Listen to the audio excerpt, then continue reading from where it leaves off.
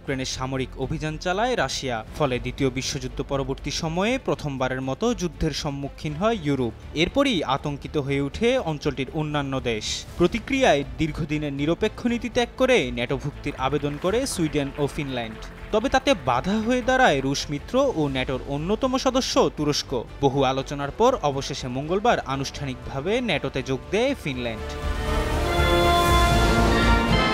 প্রতিবেশী ফিনল্যান্ডের ন্যাটোতে যোগদান নিয়ে কড়া প্রতিক্রিয়া দেখায় রাশিয়া। ন্যাটো জোটের একত্রিশতম এই রাষ্ট্রটির সঙ্গে প্রায় এক হাজার তিনশো কিলোমিটার সীমান্ত রয়েছে রাশিয়ার। ফলে ইউরোপে রুশ নিরাপত্তা হুমকির মুখে পড়বে বলেই মনে করছে মস্কো।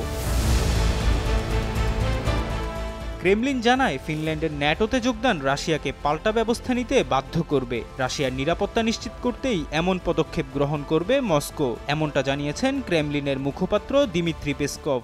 ন্যাটোর সম্প্রসারণ রাশিয়ার জাতীয় স্বার্থ ও নিরাপত্তাকে হুমকিতে ফেলছে। এই পরিস্থিতি আমাদের নিরাপত্তা নিশ্চিতের জন্য সামরিক ও কৌশলগত পাল্টা ব্যবস্থা গ্রহণ করতে বাধ্য করবে। ফিনল্যান্ডের পরিস্থিতি ইউক্রেন থেকে আলাদা, দেশটি কখনো রাশিয়া বিরোধী ছিল না।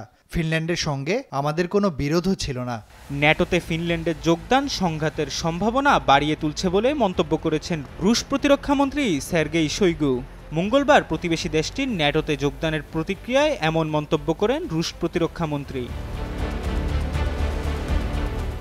ইতিমধ্যেই ফিনল্যান্ড সীমান্তবর্তী অঞ্চলে নিজেদের সামরিক বিভাগগুলোকে শক্তিশালী করার ঘোষণা দিয়েছে মস্কো। রাশিয়া জানায়, বর্তমানে দেশটি ন্যাটো ও পশ্চিমা জোটের বিরুদ্ধে একটি হাইব্রিড যুদ্ধ লড়ছে। রাশিয়ার বিরুদ্ধে ইউক্রেনকে কয়েক হাজার কোটি ডলারের সামরিক ও আর্থিক সহায়তা করছে পশ্চিমা জোট। সেইগু জানান এসবের পাল্টা প্রতিক্রিয়ায় রাশিয়াও নিজেদের পারমাণবিক হামলার প্রস্তুতি গ্রহণ করছে। এ লক্ষ্যেই বেলারুশে কৌশলগত পারমাণবিক অস্ত্র মোতায়েন করেছে দেশটি। ন্যাটো নিজেদের যৌথ বাহিনীর যুদ্ধ সক্ষমতা বাড়িয়ে তুলছে। তারা রাশিয়া ও বেলারুশের সীমান্ত ঘিরে সমর প্রশিক্ষণ ও সামরিক কার্যক্রম জোরদার করছে। ফিনল্যান্ডও এই জোটের সদস্য হতে যাচ্ছে।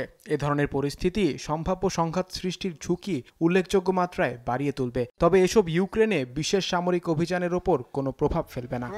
ন্যাটোর হুমকি মোকাবেলায় বেলারুশের যুদ্ধবিমানগুলোকে পারমাণবিক ক্ষেপণাস্ত্র বহনে সক্ষম করে তোলা হচ্ছে। ইতিমধ্যেই দেশটিতে রাশিয়ার ইস্কান্দার রকেট ব্যবস্থা স্থাপন করা হয়েছে।